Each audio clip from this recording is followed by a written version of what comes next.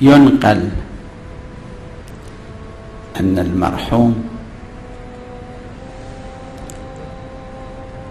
ثقة المحدثين الشيخ عباس القمي رحمة الله عليه صاحب الكتب العديدة بالعشرات وبالخصوص كتاب مفاتيح الجنان. أي واحد منكم ما سامع بمفاتيح الجنان أو ما شايف؟ أو ما مستفيد منه. ما قاري. مو فقط أنتم الملايين من المؤمنين مستفيدين من مفاتيح الجنان ويستفيدون. مفاتيح الجنان أصبح يؤخذ يهدى يحفظ مع القرآن. قرآن ومفاتيح الجنان. قرآن ومفاتيح الجنان. هذا شقد عظمة. هذا شقد فوز. رحم الله المؤلف الجليل الشيخ عباس القمي. واحد نقل لي عمن رأى قال مناسبة زيارة مخصوصة لأمير المؤمنين سلام الله عليه كانت في النجف الأشرف.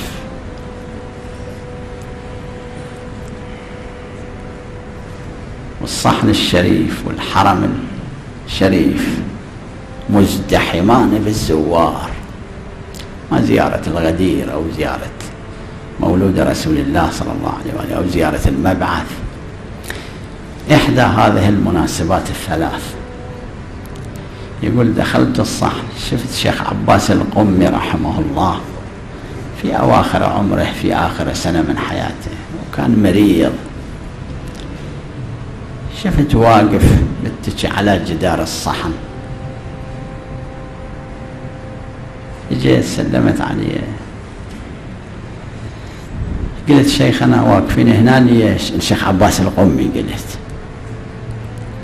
يقول قال لي واقف ذا أتحسر حسرة بقلبي أشوف هذا الفوز العظيم زيارة أمير المؤمنين سلام الله عليه.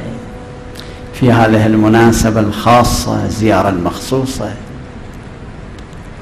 والألوف دا يستفيدون أنا ما أقدر أستفيد أنا مريض. الحسرة تغمرني. ما أقدر أطب للحرم ما أقدر قريب من الضريح الطاهر أزور أمير المؤمنين عليه السلام. يقول قلت لفت كلام قلت للشيخ واي فرح ودعالي قلت له شيخ نشوف كل واحد يطب الحرم. ماخذ بيده كتابك مفاتيح الجنان. أنت مع كل زائر تطب الحرم. يقول انشرح قلبه فرح ودعالي هذا شقد فوز عظيم للشيخ عباس القمي رحمه الله. ينقل أنه سئل عن الشيخ عباس القمي رحمه الله. أنت كتب كثيره عندك. إيش عجب هذا الكتاب مفاتيح الجنان؟ صار لهذا التوفيق. فقال ببركة فاطمة الزهراء سلام الله عليها.